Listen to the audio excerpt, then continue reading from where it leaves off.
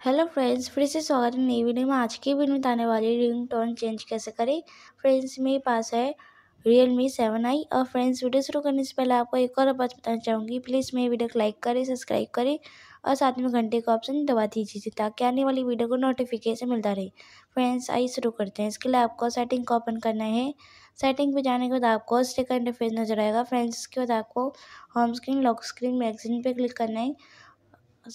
और sorry friends आपको sound vibration पे क्लिक करना है और फ्रेंड्स इसके बाद आपको ये दिखेगा रिंगटोन आप इस पर क्लिक करेंगे और फ्रेंड्स इसके बाद अलाउ पे क्लिक करेंगे और फ्रेंड्स यहाँ पे आपको रिंगटोन दिखेंगे इतने सारे। आपको वाइब्रेट करके बता देती हूँ। फ्रेंड्स अभी आवाज़ कम है।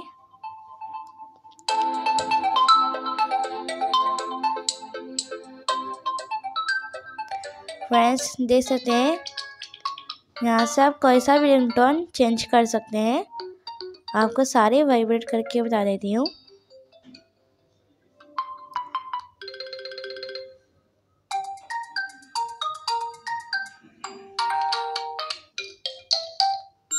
देख सकते हैं फ्रेंड्स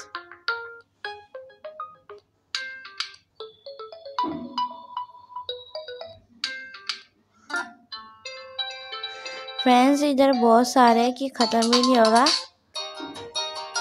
फ्रेंड्स जैसे कि मुझे ये पसंद है, इसके बाद आप यहाँ से बैक करेंगे। और फ्रेंड्स आपका ये रिंगटोन सेट हो जाएगा बैक करते ही। और फ्रेंड्स देख सकते हैं मैंने ये पसंद करी समर।